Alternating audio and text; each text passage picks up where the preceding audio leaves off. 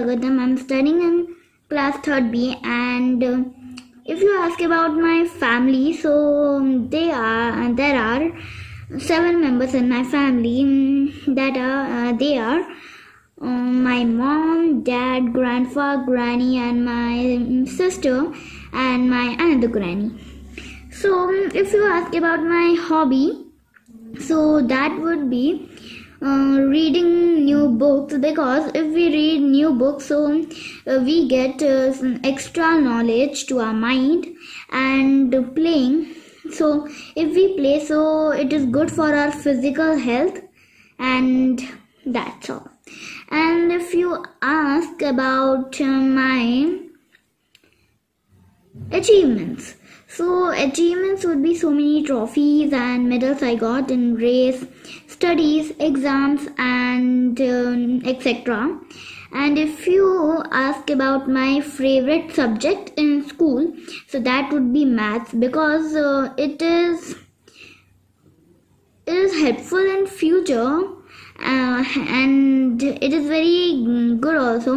It gives us knowledge about numbers and many ask about my uh, locality it would be pune. I live in pune and uh, there is so much to uh, see in pune. There are so many amazing places which we can take a look.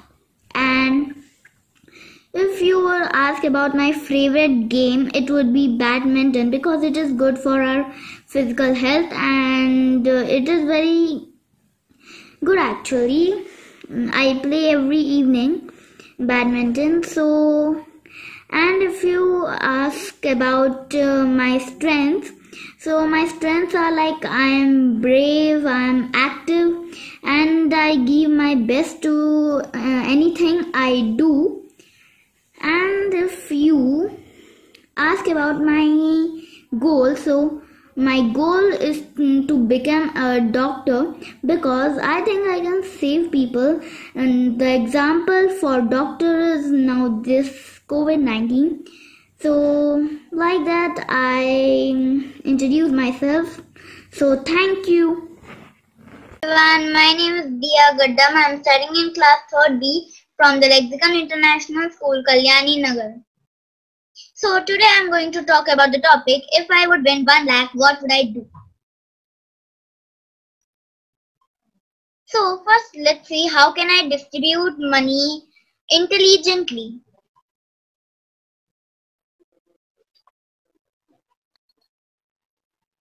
So first, I would give it to orphanage and poor people who are in need. So I would donate 20,000 because only we should not be happy. We should make others happy too. I think the money which I will donate it will help needy people, poor people and orphanage. From that 20,000, I will give 15,000 to orphanage and 5,000 to the poor people whom we see on the roads when we go uh, on the street. I will uh, so I have to uh, means uh, I will distribute them equally. So second I will no, no, no, no I will not tell. So um, you have to guess that what would be my uh, in my second chance. So any guesses? You'll buy an iPhone, right, Ria? No. No. I think she will buy some. Uh, I think she'll buy some dresses for herself. No. For parents, gifts for parents. Yes. Ah. Give it to my parents. So I would give fifteen thousand to my parents and another five thousand. I will bring some gift for my parents. I will give to my parents because they gave us so much. So let us also give and make them happy. So next.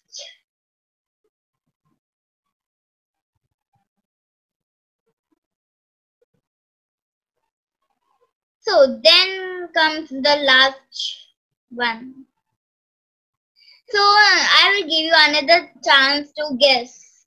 What would be my last chance? Mm, This time it is iPhone. I will I will give one clue. okay, You can go ahead. Go ahead. Ah, You want to become a lawyer, right? doctor. No, sir. No, So you sir. want to be you want to become a doctor, no? Diya? Yes, ma'am, doctor, but uh, I will be saving it for future use or for future education. I will Okay. be saving 60,000 for my future education. I think the money, sa- uh, the saved money will give me some use in future.